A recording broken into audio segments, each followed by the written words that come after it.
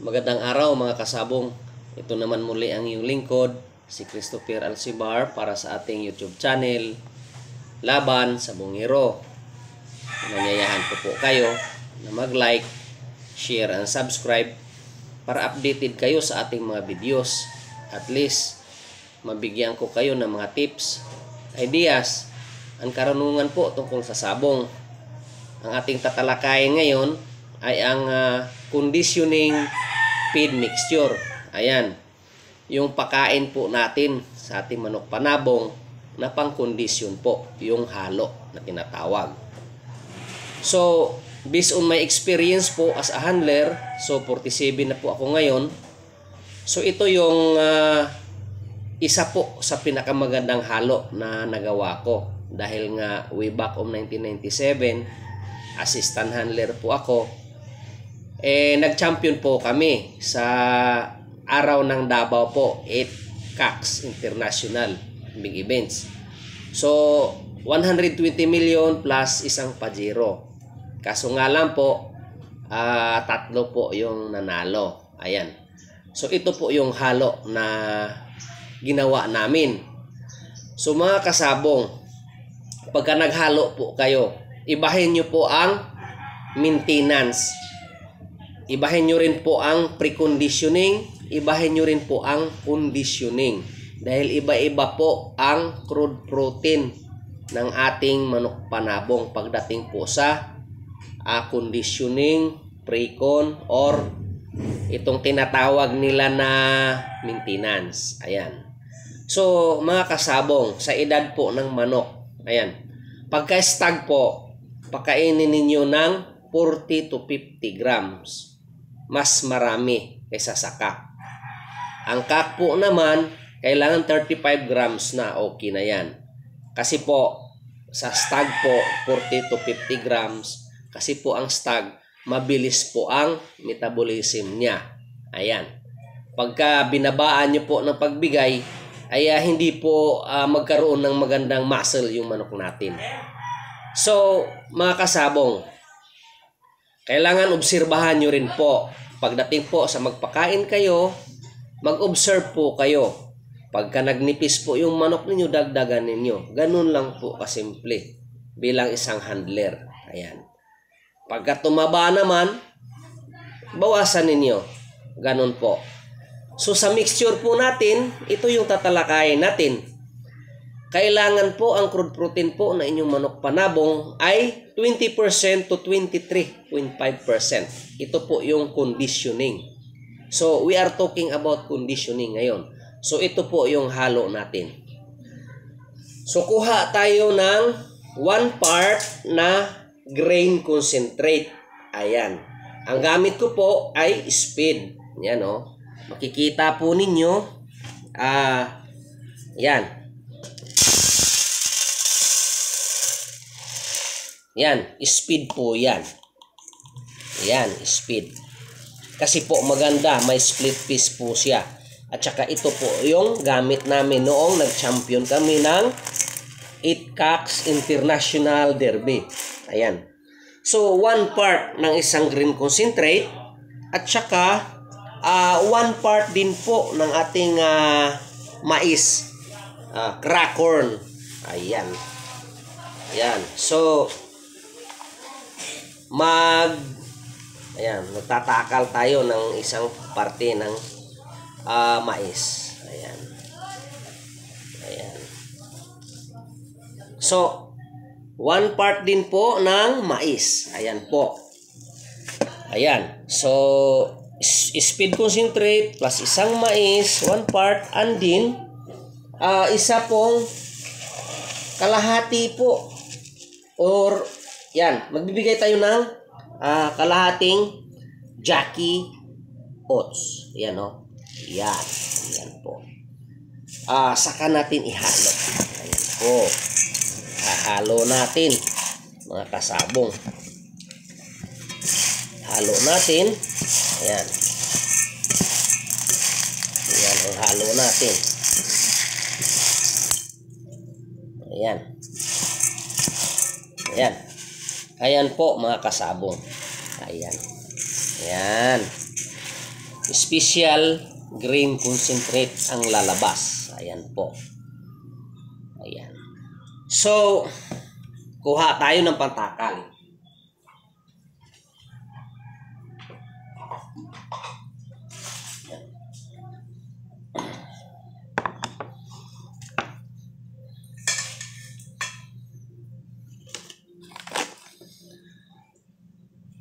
So mga kasabong, ah sa 21 days conditioning po, ay magbibigay po tayo from D1 to 10 days ng ah tinatawag nating pampabulto. Ito po yung 70% na pellets at saka 30% na grains. So, paano natin iano? Ganito yan. Ah, 70% pellets sa duha tatlo apat lima anim pito. Ayan. So pito. And then kuha po tayo ng ating uh, uh, green concentrate na 30% ayan. So isa, dalawa, tatlo. Ayan po. Ayan po. Haluin natin. Ayan. Ayan. Ayan. So, ito na yung mix natin. From D1 to 10. Bakit po mga kasabong from D1 to 10? Okay. So mga kasabong, tandaan po ninyo, uh, ito po yung halo na techniques po ng mga big, big, big time ng mga tao. 70% power pellets and then 30% of grains. Ayan po. So, pangpabulto sa D1 to 10. Yan po ang halo natin. And then, uh, Pagdating po ng 10 to 18, iba naman po. Ito yung tinatawag nila pang maintenance na 50-50. 50% na grains, 50% din po na uh, power pellets. Ayan. Bakit maintenance? Of course, bumulto na yung uh, ah, 1 to 10, i-maintain mo yung pagkabulto niya doon sa 10 to 18. Ganon po. Ayan. So, gagawa tayo ng pampabulto.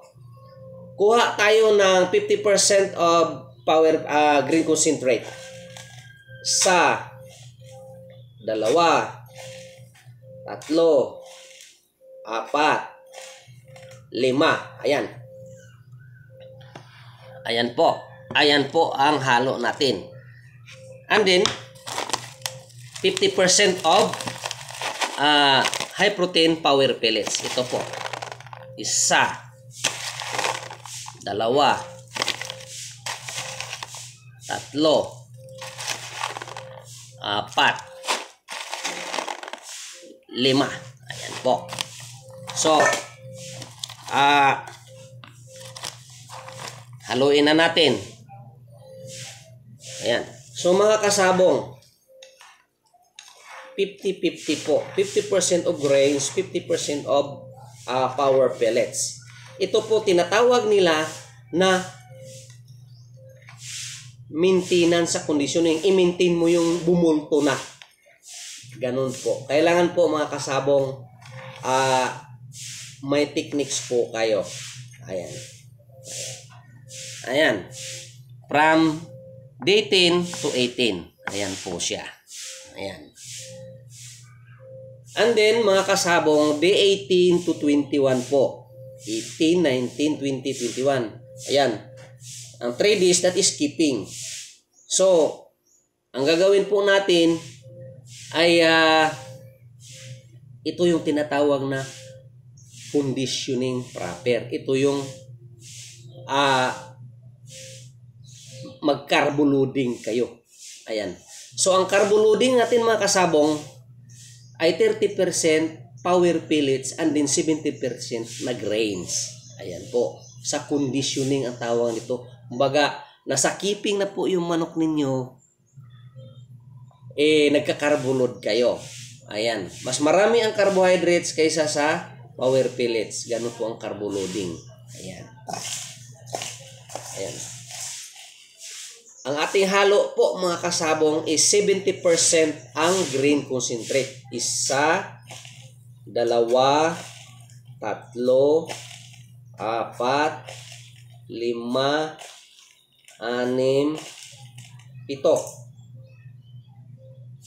Ah, pito or 70% and then ah 30% na power pellets. Isa, dalawa, tatlo. Ayan. So, haluin natin.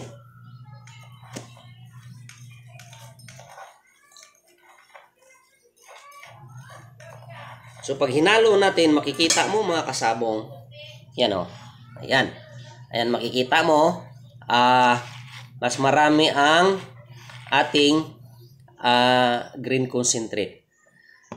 So, 70% green concentrate and 30% po ang power pellets.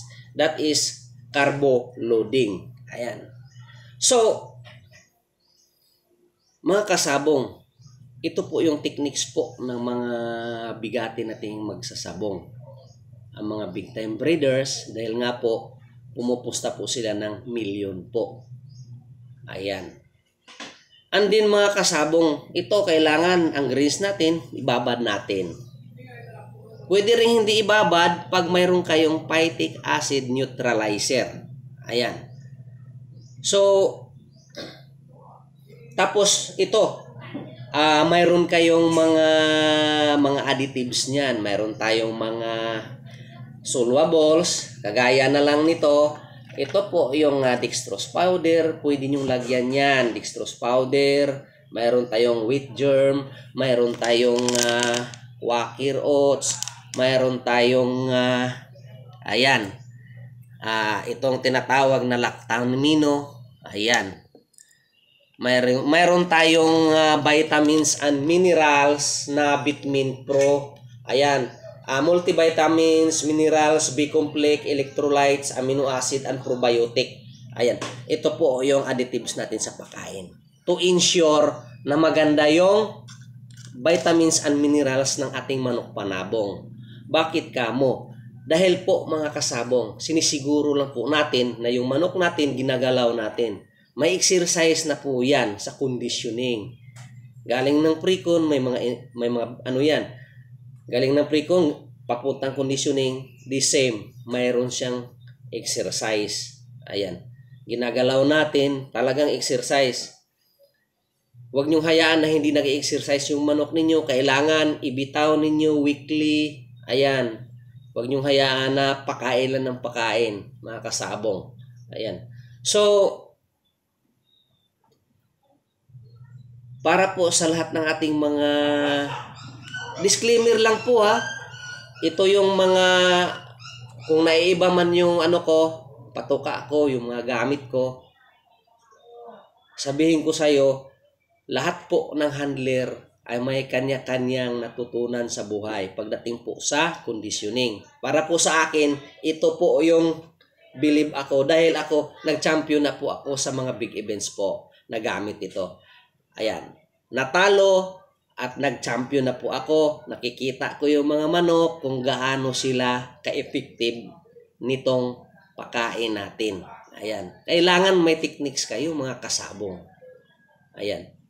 So pagka nag-condition kayo sa conditioning, ang gamit po ninyo na gamot ay uh, B15. Pwedeng na night owl method basta B15. Ayan. Ang sikreto po mga kasabong, sa maintenance po, B-complex. Ang B-complex po, mayroon siyang uh, walong uh, B-vitamins na complete. Ayan, that is uh, for maintenance. Pero pagdating po naman ng Precon, mayroon tayong B12 1000 mg na plus B-complex. Sa Precon po ito. Ayan. So, sa conditioning naman, B15. Ayan. So, ito po yung ah, step by step na bigay namin ng gamot. Bakit? Tandaan ninyo mga kasabong, pagka naglagay po kayo ng gamot, ay kailangan alam din ninyo kung saan papunta. Hindi lang yung naglagay kayo dahil hindi ninyo alam na akala ninyo may gamit po siya. Hindi po. Okay? So, routine support of Gimpaol maintenance sa gamot. Ayan, B-complex, amino acid para sa muscle builder, iron po para sa dugo, calcium po para sa buto. Kailangan alamin din ninyo para hindi kayo mawala. Ayan.